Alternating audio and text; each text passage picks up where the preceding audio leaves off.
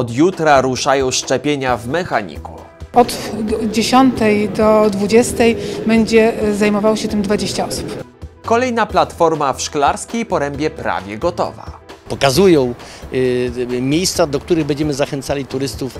Przed nami kiermasz książek. Stare książki mają bardzo często no, pamiątkę z dzieciństwa, e, mogą stanowić doskonały prezent dla wnuków, dzieci, e, dla nas samych.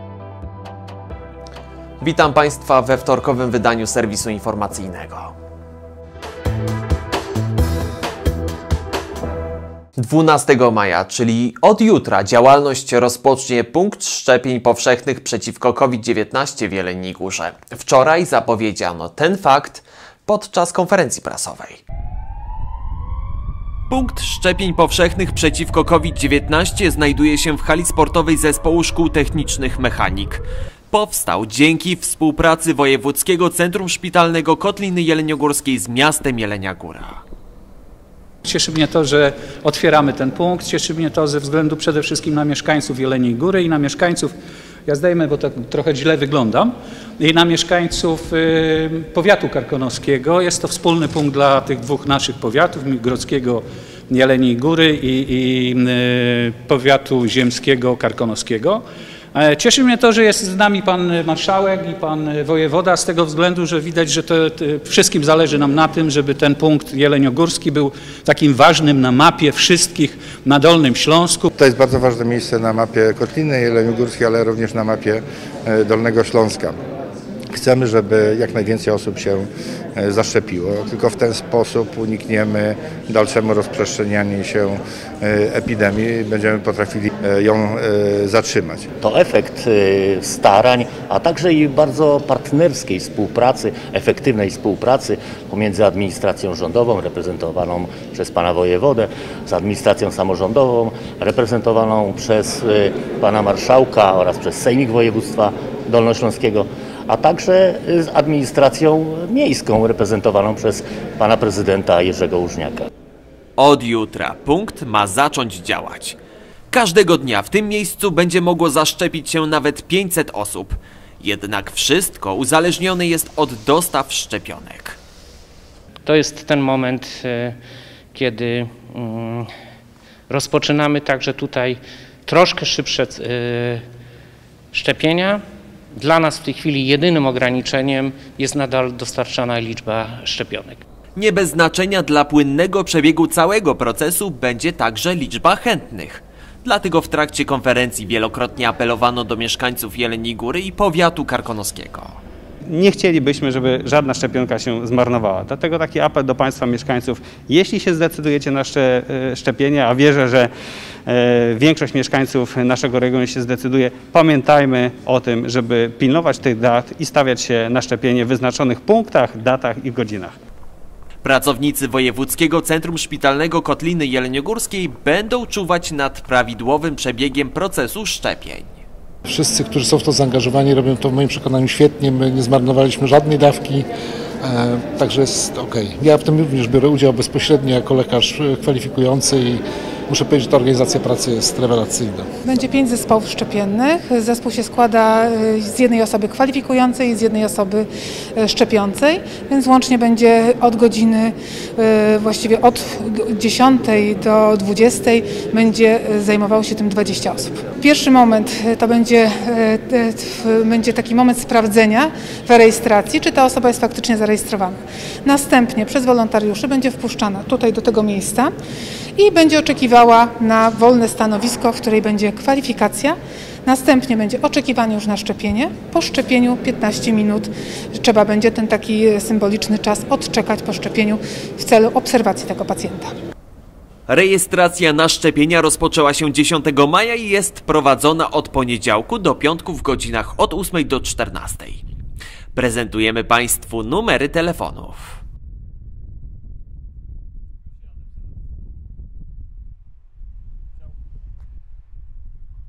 Małymi krokami zbliża się ku końcowi budowa platformy widokowej przy dworcu kolejowym PKP w Szklarskiej Porębie Górnej. Postanowiliśmy pokazać Państwu efekt prac, a przede wszystkim wyjątkowy widok, jaki rozpościera się z tego miejsca. Proszę sobie wyobrazić turystę, który przyjeżdża pociągiem do Szklarskiej Poręby, wychodzi z dworca i jego oczom ukazuje się taki widok. Chyba nie ma lepszej wizytówki dla kurortu turystycznego, prawda? Dlatego lokalne władze zdecydowały się wybudować na terenie miasta pięć platform widokowych. Jeszcze jest poza tym Zbójeckie Skały, Złoty Widok, yy, yy, tak jak powiedziałem, dworzec kolejowy, yy, karczmasz yy, w centrum miasta i Zaklęć Śmierci. To są te pięć, to, to jest tych pięć. Jest to z programu Interreg wspólnie z y, czeską stroną, z, z, miejscowością Albrechtice. One właśnie też będą chciały, czy nam pokazują y, miejsca, do których będziemy zachęcali turystów, którzy przyjadą do Szklarskiej Poręby. Jednym z nich jest punkt, który powstał przy odnowionym ostatnio dworcu PKP. Platforma jest już prawie gotowa. Do zrobienia zostało jeszcze kilka prac. Tutaj roślinność i wiem, że skarpa, która ma być y, wysypana, wysypana ziemią i zasiane tutaj i trawa, i kwiaty i tak dalej, dopiero wtedy założony zostanie za mną y, os- ostatnia platforma, znaczy y, barierka ze szkła i będzie wreszcie otwarte. Ale po prawej mojej stronie jest, jest charakterystyczne miejsce i to jest ważne podkreślenia. Jest zejście do miasta, schody, które myślę, że 20 lat były nieczynne. Wreszcie będą goście mogli normalnie, kulturalnie zejść schodami do, do, do centrum miasta. Niebawem zabierzemy Państwa na kolejną platformę widokową w Szklarskiej Porębie. A jak na razie polecamy odwiedzić to miejsce. Cena nowej książki to koszt kilkudziesięciu złotych. Dla kogoś, kto czyta dużo pozycji w ciągu roku, może to być spory wydatek. Jednak jest kilka sposobów, żeby nieco zaoszczędzić. Portal aukcyjny to dobre miejsce na kupienie używanej książki, która będzie dużo tańsza. Niestety, przy zamawianiu jednej pozycji staje się to nieopłacalne, bo trzeba doliczyć koszty wysyłki. Dlatego informujemy Państwa o zbliżającym się kiermaszu organizowanym przez Książnicę Karkonoską. Książki mogą nas przenieść w zupełnie inną rzeczywistość, opowiadają historie, które wciągają na długie godziny. Podczas czytania czasami się boimy, uśmiechamy, a nawet płaczemy. Rozwijają nasze słownictwo oraz wiedzę. Czy jeleniogórzanie czytają książki? Jeśli tak, to jakie? Zdawałam maturę, dlatego czytałam takie bardziej e, lektury szkolne. A tak dla relaksu? Tak, dla relaksu. No w tym roku nie miałam czasu, ale często czytam na przykład obyczajowe. Tak wybiórczo i tak raczej tak jak tego to coś w rodzaju przygodowego, żeby coś było. Najbardziej lubię kryminały, Dlaczego akurat to? no bo jest porywająca akcja, zaskakujące zakończenia. My nie czytamy, bo nie lub... no, nie mam czasu i ja nie lubię czytać książek, szczerze. Zasypiam przy książkach. Według badań przeprowadzonych przez Bibliotekę Narodową w 2020 roku 42% Polaków przeczytało co najmniej jedną książkę.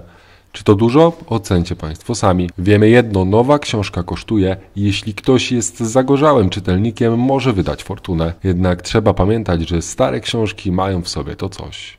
Oprócz walorów literackich, ja bardzo to lubię, nie wszyscy to lubią, ale stara książka ma też taki specyficzny zapach i dlatego wszystkich tych, którzy chcieliby e, książki starsze, książki używane, po prostu kupić i dokupić je za cenę dużo niższą niż nowości wydawnicze, zapraszamy jak co roku. Używane książki można kupić po atrakcyjnej cenie. Niedługo książnica Karkonoska organizuje kolejny kiermasz, na którym będzie można kupić używane książki. W maju zapraszamy do dwóch punktów. E, 17-19 maja w Cieplicach, przed naszą filią Cieplicką, filią numer 4, staną e, stoły, a na nich książki, które będziemy Państwu proponowali do kupienia po niskiej cenie.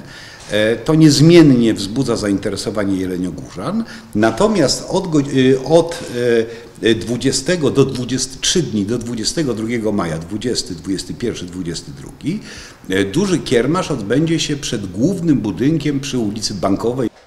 Podczas rozmowy z dyrektorem Książnicy Karkonoskiej zostaliśmy zapewnieni, że na kiermaszu pojawi się wiele atrakcyjnych tytułów, także będzie z czego wybierać.